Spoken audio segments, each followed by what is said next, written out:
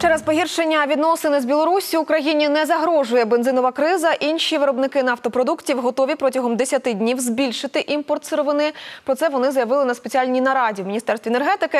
Також найближчим часом в парламенті з'явиться законопроект, який зобов'яже державу робити певні запаси нафтопродуктів та скрапленого газу.